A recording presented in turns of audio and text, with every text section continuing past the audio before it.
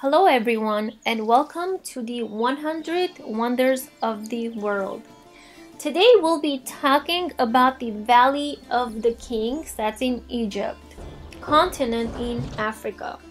Valley of the Kings. Thebes was the capital of ancient Egypt, the center of the pharaonic kingdom for over 400 years and location of Egypt's most important cults the nearby Valley of the Kings is the world's greatest necropolis. The New Kingdom from 1537 to 1070 BCE, the periods of the 18th through the 20th dynasties was the golden age of the Thebes, the city we now know, uh, know as Luxor. The pharaohs freely spent their unimaginable, unimaginable wealth and treasures to beautify their royal city on both banks of the Nile with magnificent temples and palaces. The finds uncovered here by archaeologists over the course of centuries are the stuff legend. History and legend swirl around the long dead kings, weaving together fact and fiction so that one can no longer be disentangled from the other. Thebes of the Hundred Gates, as the later Greek historian Herodotus described it, grew into an expensive and powerful city during the New Kingdom. Its world-famous fantastic buildings and, and um, its world's famous fantastic building and monuments have survived for millennia, bearing witness even today to the glory and wealth of this gigantic city of the pharaohs filled with palaces and temples. Among the monuments that still survive are the Temple of Luxor, the enormous temple city of Karnak, with its Amon Temple, the funerary temple of Hatshepsut, and last but not least the famous grave complexes in the Valley of the Kings.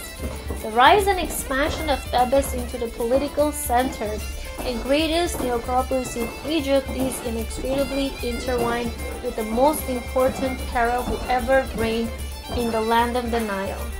Ramses II, uh, 20, uh, 1298 through 1213 BCE. During his 60 year reign, 1279 through 1213 BCE, Ramses II guided the destiny of his country like no other ruler before him or since. In this period, Egypt's economy and culture reached heights that can scarcely be believed, and epics that would never be reigned again. Ramses' skill in diplomacy gave Egypt nearly 50 years of peace with its neighbors, which freed both the people of Egypt and their extraordinary ruler to pursue other things. Ramses devoted his considerable energy to the beautification of his capital city and the construction of his tomb.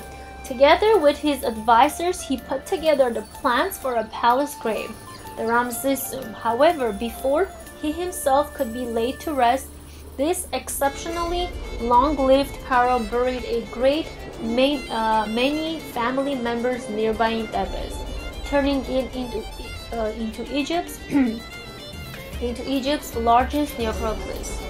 With Amon Temple of Karnak, Ramses II completed the work that his father Seti had begun, but in a much more elaborate style than Seti himself had ever dreamed possible. This is the greatest of all Egyptian temples with 134 columns, each 60 feet high, supporting the Great Hall. He never stopped commissioning monuments that would stand as proof of his unlimited power. The Temple of Luxor, which he enlarged with the addition of a courtyard larger than all the others, served his purpose well. Statues topped by portrait heads of the pharaohs decorated the enormous open space. Ramses also visited the funerary temple of Hatshepsut. This queen had ruled Egypt some 200 years earlier. The woman ruler was from Ramses' II point of view unthinkable. He had all the temple's inscriptions to Hatshepsut removed, replacing her name with his own. Sometimes around 1250, uh, 1253 BC, Ramses II's favorite wife, Nefertiti, died. To honor her, Ramses commissioned the most elaborate grave monument in the Valley of the Queens, located directly to the south of the Valley of the Kings, where the remains of many Pharaoh's wives rest in over 90 graves. Nefertari's monument is designed to be worthy of Pharaoh, the female Pharaoh who stood at the side of the greatest Pharaoh of all. Ramses II himself died in 1213 BCE. He left behind more than 100 children, a wealthy and prosperous land, a capital city whose buildings have lost none of their beauty, continuing to draw admirers up to the present day. The legacy of the most magnificent pharaoh continues to impress and fascinate the Valley of the Kings, the legendary Valley of the Dead rulers on the western bank of the Nile, is the largest and best known necropolis in all of Egypt. More than 60 tombs have been identified there so far, most belonging to kingdom uh, to the new kingdom pharaohs. The first funerary temple in the Valley of the Kings was built during the 18th dynasty. The Egypt, uh, to the Egyptians, the monument graves of the rulers were designed to be their million year homes. Among the most widely known graves site in the valley are, tom are tomb number 7 belonging to Ramses II, number 42 the funerary temple of the Hatshepsut, and number 62 the famous grave of the pharaoh. Tutankhamun that was first discovered in 1922. The most recent grave in the Valley of the Kings belongs to Pharaoh Ramses XI of the 20th dynasty, who mm-hmm. died around 1070 BCE, still following the traditions of his forefathers by building his tomb at this site.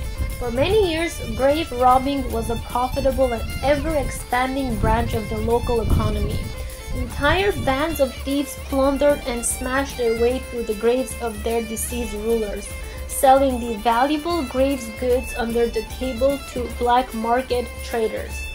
For many centuries, the Valley of the Kings lay slumbering in obscurity known only to the local inhabitants.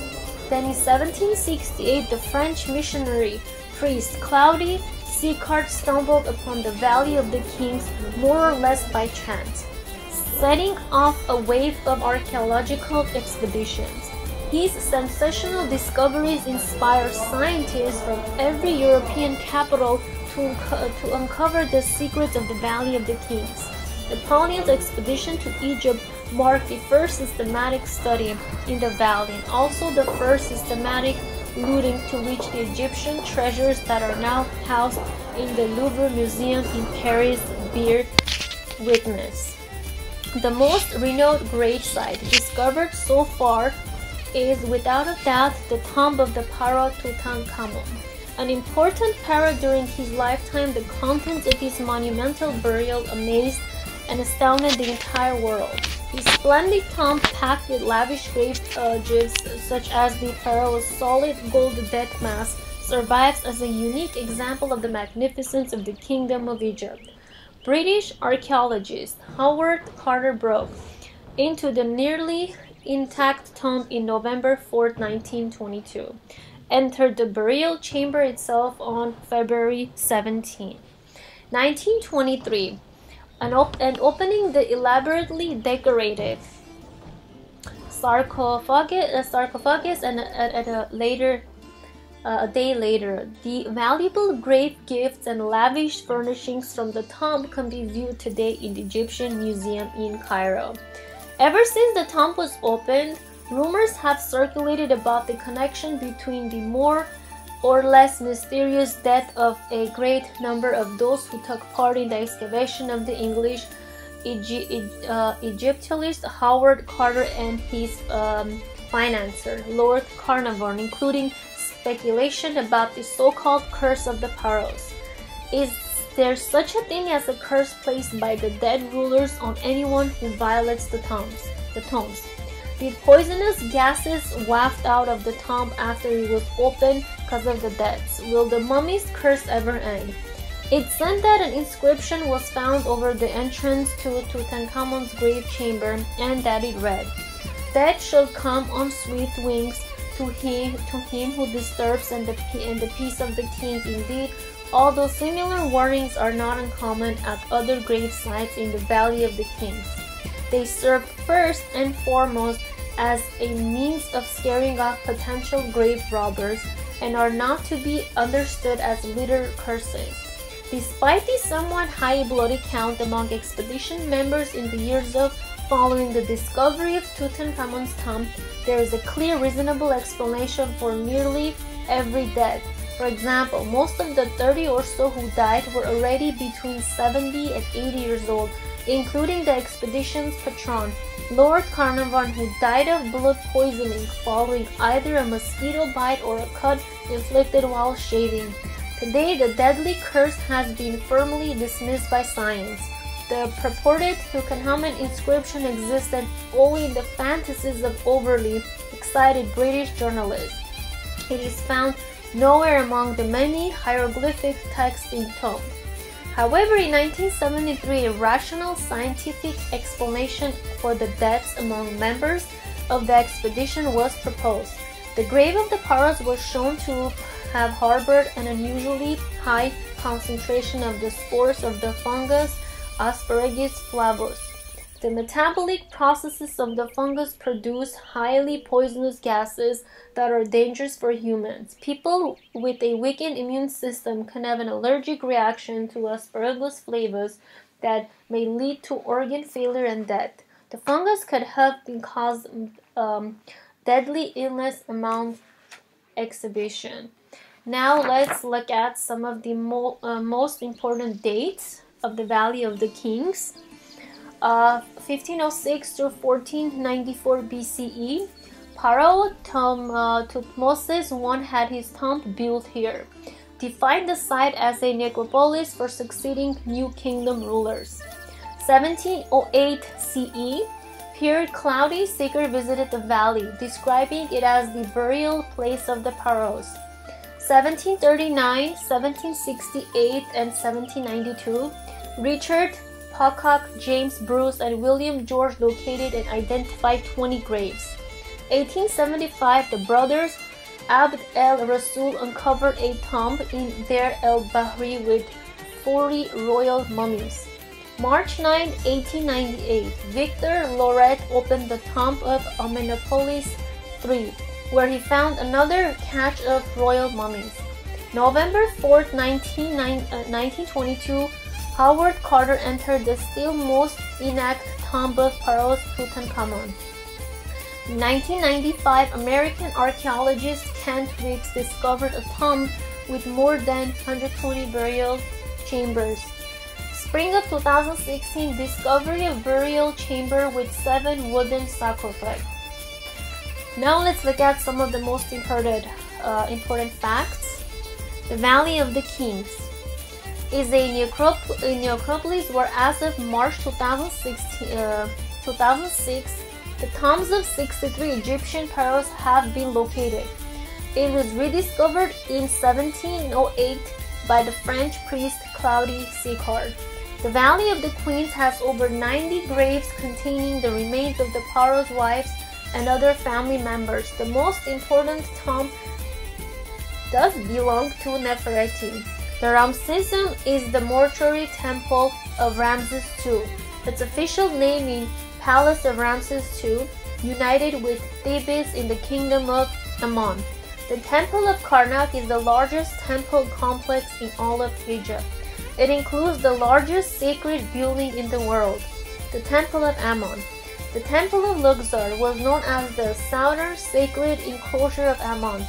It was dedicated to the god Ammon, his wife Mut, and their son, the moon god Khons. Thank you for listening, everyone. Stay tuned for more 100 Wonders of the World.